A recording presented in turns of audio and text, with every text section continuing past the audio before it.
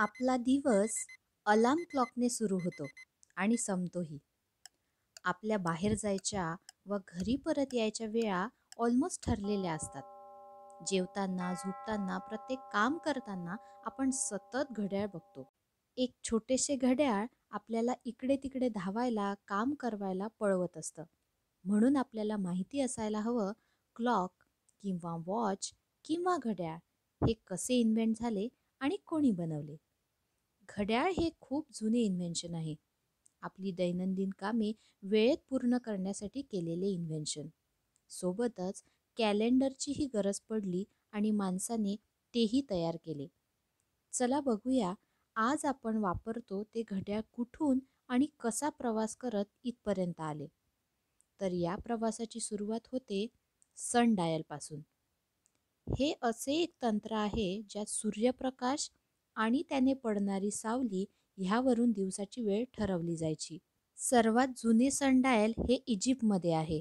तर इंडियातील सर्वात मोठे सनडायल जयपूर राजस्थानला पाहायला मिळेल.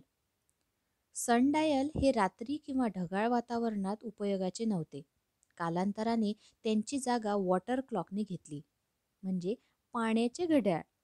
ह्या प्रकाराच्या घड्याळांची ॲक्युरेसी सनडायलपेक्षा कमी होती. पण यांचा वापर घराच्या आतसुद्धा व्हायला लागला जे सनडायलच्या बाबतीत शक्यच नव्हते. वातावरणाचा म्हणजे ढगाळ असताना आणि सूर्यप्रकाश नसतानाही वॉटर क्लॉकचा उपयोग व्हायचा. दोन प्रकारचे वॉटर क्लॉक्स आहेत इनफ्लो आणि आउटफ्लो आउटफ्लो वॉटर क्लॉकमध्ये भांड्यातील पाणी एका छिद्रातून बाहेर पडते आणि त्या भांड्यावर वेळेचे मार्किंग केलेले दिसेल. किती बाहेर पाणी पडले ह्यावरून वेळ ठरवली जायची. ह्या उलट इनफ्लो वॉटर क्लॉक ज्यात भांड्यातून पाणी आत येत असे.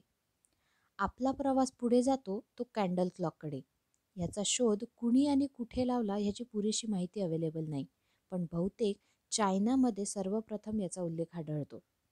ही कॅन्डल बारा इंच उंचीची आणि बारा भागांमध्ये डिवाईड केलेली असायची. प्रत्येक मार्किंग वीस मिनिट असे कन्सिडर केले जायचे. ही कॅन्डल एका वुडन फ्रेममध्ये काचेत ठेवलेली असायची म्हणजे ती विझणार नाही.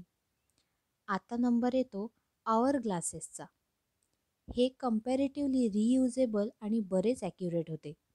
पंधराव्या शतकांमध्ये ह्यांचा वापर व्हायला लागला ज्यात दोन ग्लास बल्ब एका रुंद पॅसेजने जोडले जातात आणि एका बल्बमधून दुसऱ्या बल्बमध्ये वाळू खाली घसरते. आजही काही ठिकाणी अवर ग्लासेसचा वापर केला जातो.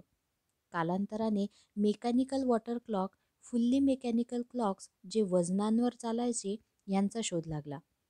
आकाराने छोटे घड्याळ बनवणे हे एक चॅलेंजच होते. त्यासाठी वेगवेगळे मेकॅनिझमही वापरले गेले. ह्यातच पुढे स्प्रिंग ड्रिव्हन क्लॉक्स म्हणजेच घड्याळ स्प्रिंगवर चालत असे पण यांची ॲक्युरेसी कमी होती. जवळपास सतराव्या शतकात गॅलिलिओने पेंडुलमचा शोध लावला. हा स्विंगिंग बॉब ॲक्युरेट वेळ सांगण्यात यशस्वी झाला. पुढे हेअर स्प्रिंगचा शोध लागला जो साईजने अगदी छोटा असल्यामुळे फायनली पॉकेट वॉचेस म्हणजे साईजने अगदी कमी असणारे घड्याळ बनले. एकोणीसाव्या शतकात इलेक्ट्रिक क्लॉकही बनले ज्यात घड्याळांचा मेन स्प्रिंग हा इलेक्ट्रिक मोटर किंवा इलेक्ट्रोमॅग्नेटला जोडलेला असायचा. एकोणीसशे एकोणसत्तरमध्ये सिकोने पहिली कॉर्ड्स वीस वॉच बनवली. ॲनालॉग क्लॉक्समध्ये कालांतराने बदल होत त्यांची ॲक्युरेसी वाढत गेली. ह्यासोबत डिजिटल क्लॉकसुद्धा वापरात यायला लागले. Digital क्लॉक्समध्ये L C D L E D V F D यांचा वापर झाला. घड्याळांचा वापर फक्त वेळ बघण्याकरिता नाही तर आता टायमर आणि टाईम लिमिट ठरवायलाही होऊ लागला.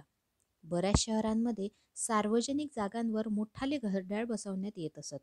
जगातील असे काही फेमस घड्याळ बघूयात. Number one Big Ben London Peace Tower Ottawa astronomical clock Prague world clock Berlin आणि राजाबाई टॉवर मुंबई ह्यापुढे जेव्हा तुम्ही घड्याळात बघून वेळ चेक कराल तेव्हा लक्षात असू द्या तुम्हाला ॲक्युरेट वेळ सांगण्यासाठी या घड्याळाने मोठा प्रवास पार पाडला आहे.